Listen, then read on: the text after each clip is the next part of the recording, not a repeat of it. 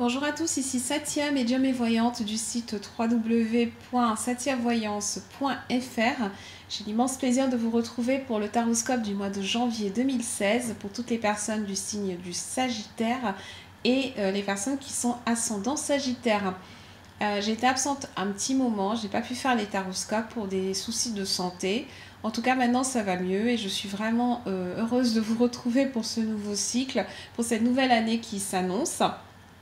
Euh, et avec de, meilleures énergies pour 2016. On laisse, euh, on laisse 2015 avec le sourire et puis on se focalise sur, euh, sur cette, nouvelle année, cette nouvelle année qui commence. comme d'habitude, ceci est une lecture d'ordre général, ce qui signifie que certains sagittaires et ascendants sagittaires vont totalement s'identifier aux énergies que je vais vous énoncer, tandis que pour d'autres, Certains aspects seront peut-être un petit peu moins marqués, donc n'hésitez pas à me joindre par email à satiavoyance.gmail.com pour toute question complémentaire ou demande de consultation privée. Euh, je tiens à remercier toutes les personnes qui m'ont envoyé des messages de soutien. Euh, j'ai pas pu répondre à tout le monde, bah, tout simplement parce que je, n'étais pas en état. Euh, mais en tout cas, c'est un, vrai encouragement et je vous adresse absolument toute ma gratitude euh, c'est bien de savoir qu'il y a des gens qui sont là, qui, euh, qui attendent des taroscopes. Euh, n'hésitez pas, continuez à vous abonner à ma chaîne YouTube, à laisser des commentaires. et voilà, donc c'est avec plaisir que, que, je répondrai à vos questions. pour ce mois de janvier 2016, pour les Sagittaires et ascendants Sagittaires, je pense que le, conseil principal est de, de, de ne, pas ne pas trop vous prendre la tête. Voilà, on va, on va résumer ça comme ça. Là, ce qu'on vous dit, c'est de, il faut, il faut apprendre en fait à lâcher prise sur les situations euh, que vous ne pouvez pas euh, modifier en fait.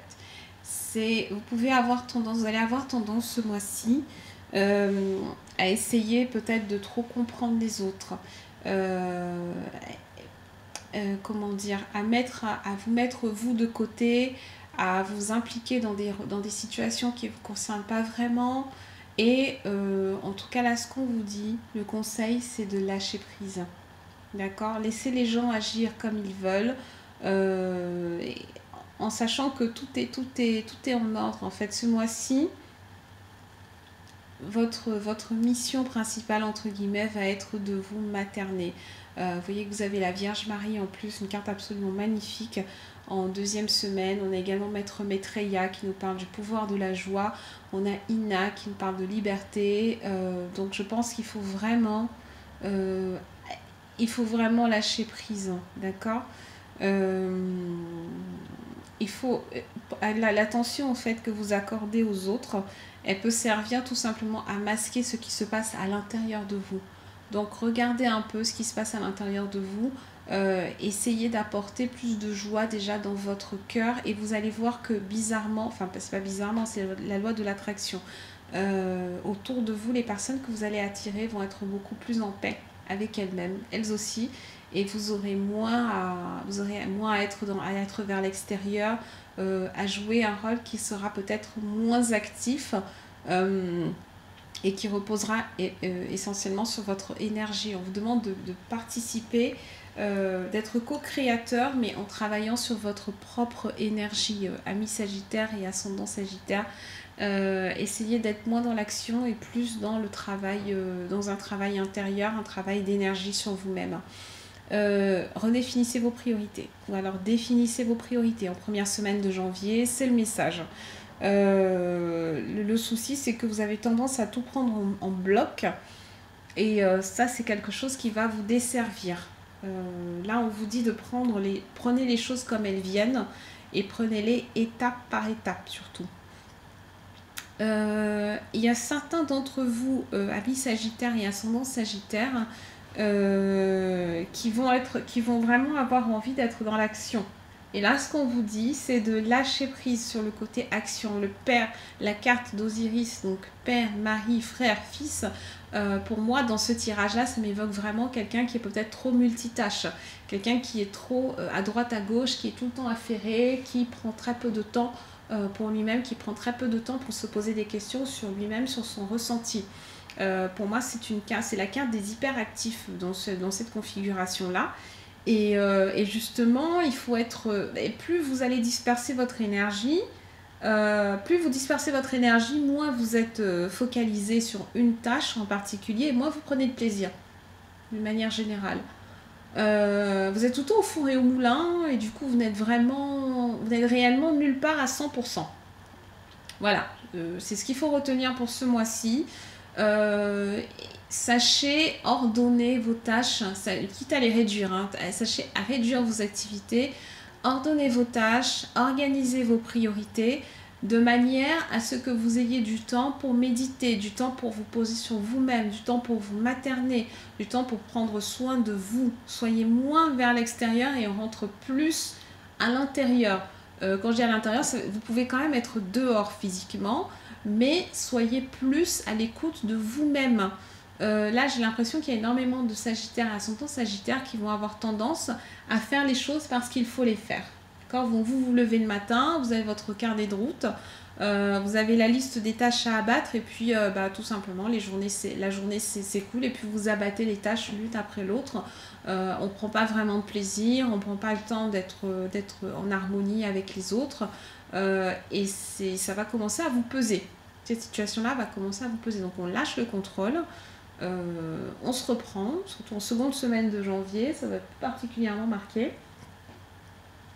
Euh, il faut prendre en compte le point de vue de l'autre, mais le prendre d'un point de vue émotionnel, d'accord? Pas d'un point de vue je veux que tu fasses ceci ou cela pour moi, je veux que tu te comportes comme, comme ceci ou comme cela c'est plutôt euh, comment est-ce que toi tu ressens les choses, comment est-ce que toi tu ressens la situation? Euh, moi je la ressens de telle façon, il faut vraiment redescendre en fait dans le cœur et redescendre sur un registre émotionnel. Ami Sagittaire, on ne se prend pas la tête, on relâche, on souffle un grand coup et puis on profite un peu du, temps qui passe et, euh, et des personnes qu'on rencontre. Troisième semaine, vous dit que votre perception de la situation est juste avec Horus. Horus qui est entouré d'un côté de Lakshmi avec le vent de la prospérité et de l'autre Ina, le vent de la liberté. Donc, certains Sagittaires euh, vont vraiment avoir envie d'une activité qui ne soit pas trop prise de tête et qui rapporte, qui puisse quand même rapporter. Euh, et ça, c'est tant mieux, parce que ça peut très bien correspondre à, ça correspondra forcément à votre essence. Euh, je pense notamment au milieu, à tout ce qui a trait peut-être euh, au tourisme, euh, on va permettre à d'autres personnes de, s'évader. également, ça peut, ça peut, parler des travailleurs de lumière. leur dire que si vous avez une intuition particulière en lien avec un, un, don, une capacité, un talent que vous avez et que vous voulez le partager auprès de vous, bah, pourquoi pas ça peut être une possibilité. Vous pouvez être amené à exercer une activité qui vous apporte plus de liberté, une activité donc euh, professionnelle, rémunérée, qui vous apporte plus de liberté et qui vous permette de profiter aussi plus des autres et qui vous qui apporte plus de joie dans votre vie. Ça peut être ça. Euh, et enfin, donc en quatrième semaine, vous voyez qu'on a, euh, on a, on a la carte de l'enseignant en fait qui ressort.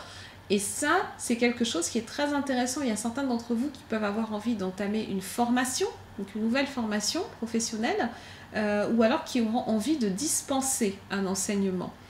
Dans tous les cas, c'est une activité qui devrait vous apporter de la joie. Encore faudrait-il que vous soyez conscient de cette joie, d'où euh, l'intérêt de ralentir le rythme, de moins vous prendre la tête sur des choses futiles et de vous poser les vraies questions. Euh, donc le, côté euh, transmission du savoir peut être quelque chose qui vous corresponde. Euh, soit transmission du savoir, soit assimilation d'un nouveau savoir, hein, ami Sagittaire et, et, ascendant Sagittaire. Loi spirituelle de l'attraction, on a Kuan Yin qui enfonce le clou avec le lâcher prise aussi. Vraiment, soyez à l'écoute de ce qui se passe autour de vous, soyez à l'écoute des signes que vous envoie l'univers poser des questions à l'univers, mais ça passe aussi par euh, un, arrêt à un moment donné. On arrête tout, on arrête les activités, on arrête le remue-ménage, euh, on médite. La méditation est extrêmement importante et je pense qu'elle peut vous apporter un certain nombre de réponses ce mois-ci. Hein. Ami Sagittaire, ascendant Sagittaire, euh, on se pose, on interroge son moi intérieur, on interroge son intuition et la majorité d'entre vous va avoir envie de s'orienter vers une nouvelle profession. Euh, ce ne sera peut-être pas une profession, euh, mais en tout cas, c'est une activité.